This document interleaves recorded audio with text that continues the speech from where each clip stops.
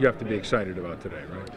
Just uh, really excited. You know, th- this young guy has, has paid his dues and uh, wasn't born on third base and thinks he hit a triple. He had to go every single level of this business to get to his dream job. Great understanding of, of this university and of the city of New Orleans, the talent base that's in the city, and I think he's going to do well. What advice would you give him? Recruit, recruit, recruit, and uh, find players that don't belong in the Southland Conference.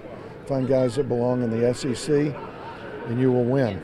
Um, and that's easier said than done. Um, and I, I, think his uh, work ethic is going to take care of that. Staffing will take care of that.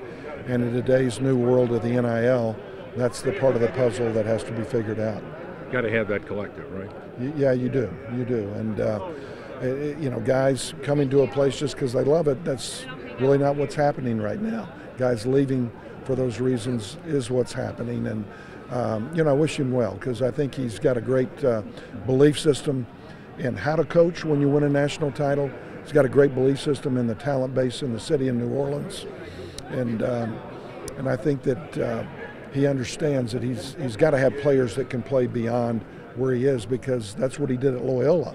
He had a guy that went to Marquette. He had a guy that went to, to Ole Miss. And I think he'll try to do the same thing here.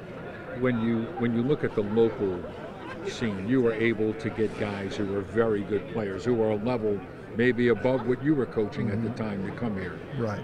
Is, is that possible in the New Orleans area again? Well, it is. I, I think that New Orleans is uh, within 100 miles of this city. Uh, there, there are players, and, and there always have been. Um, our last team at UNO, 12 of the 13 guys on the team were from within 100 miles and did not have an offer. Now, those things have probably changed since then. Uh, because of Katrina, a lot of kids have left. I understand that. But uh, there's still players here. And uh, I think he's always going to look here uh, first prior to getting on a plane and flying to Chicago and going over Slidell um, or Covington or one of these surrounding towns that, that have players. All the payday games, how much of a problem would that be early?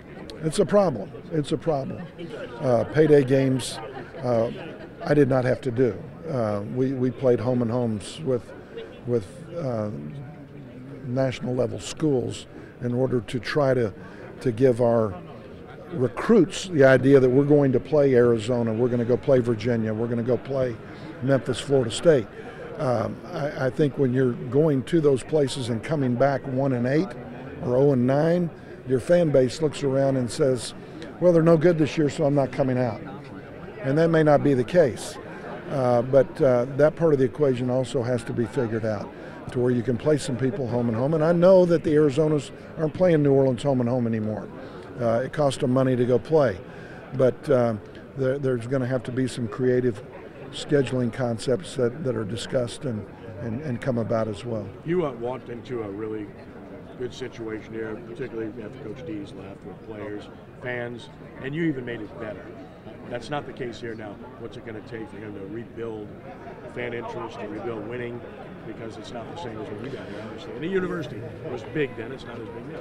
Well, and it's and it's a professional sitting down also with with the Pelicans, and that changes the equation as well. And and I think that, you know, players um, will come if they're a part of winning, and and now with the collective, that's basically what it comes down to. Fans will come if they're watching a winning product, and if they can see talent and guys that are committed, that play hard, that give of themselves uh, that carry themselves, deport themselves in the right way.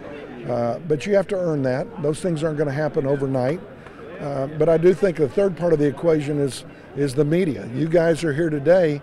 I hope you're here before their first game. I hope the Times Picayune is covering it in the newspaper the day of a game and the day after a game, to where people will discuss those things within the city and understand that it's a viable part of, of building a program. I know they do that in Spokane with Gonzaga. I know they do that in Cincinnati with Xavier in Cincinnati. I know they do that in Houston.